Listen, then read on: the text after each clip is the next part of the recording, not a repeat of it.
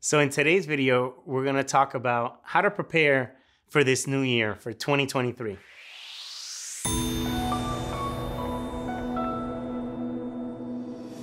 But before I get started in the video, I wanna wish everyone a happy new year. I'm sure last year came with challenges as it came with many benefits. However, we wanna put this video together to tell you as a manager or as a community association board member of what steps you should be following to make 2023 a very successful year for you and for your community. So the first tip I wanna provide is hopefully you have your 2023 goals for your association.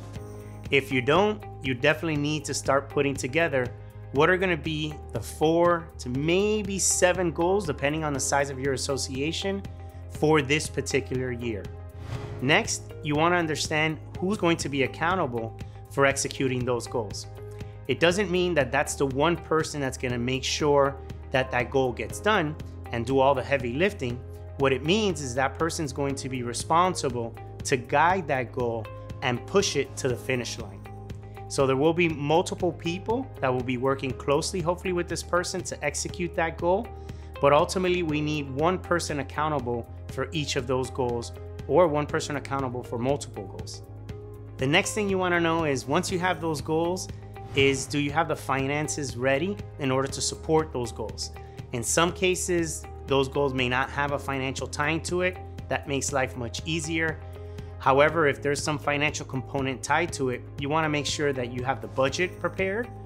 Or if you don't, how are you going to get the monies in order to execute that particular goal? Next, if you have that goal and you know what it looks like at the finish line, what you wanna do is break it into small pieces. So break it into quarterly portions of what needs to get done in order for that goal to be executed. So the way we like to do it here in Affinity is we break it down per quarter. And then for that particular quarter, we'll break down milestones, whether it be every other week or weekly. And we're checking in on those goals to make sure that we're moving that puck towards the goal line and that we're working together to execute that particular goal. Once you have those quarterly and milestones goals, you wanna make sure that obviously you have a good rhythm of meetings, whether it be weekly, whether it be every other week, whatever works for your particular community association. I highly recommend at least weekly meetings to understand what's going on. Now, board members, don't panic. I'm not saying weekly board meetings. I'm saying weekly check-in meetings to make sure that these goals are being executed. If they're not being, being executed, you wanna understand why they're not being executed, where do the challenges exist, are there any obstacles that need to be moved from either management, from a vendor, from the board, or from residents, whatever it may be, but that way you're working as one unit to accomplish these goals for your particular association. So to give you an example to try to wrap this all up is most of you have just finished your budget season. Just because you finish your budget season doesn't mean that 2023 you don't have to prepare a budget.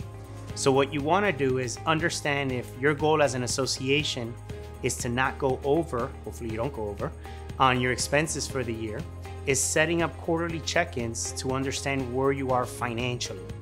That way, as a board and management, you know where you stand and you're making sure that the classifications for those items within your budget are done properly so that when you get to budget season at the end of the year, the work is going to be much easier to do. So if you've enjoyed this video or if you have any other questions when it comes to setting goals for your community or setting goals for your particular association, please don't hesitate to reach out to us. You can reach us by visiting our website, managedbyaffinity.com. Also, if you like this video, make sure to give us thumbs up and make sure you subscribe to our YouTube channel as we have weekly videos coming out. I'll see you in our next video.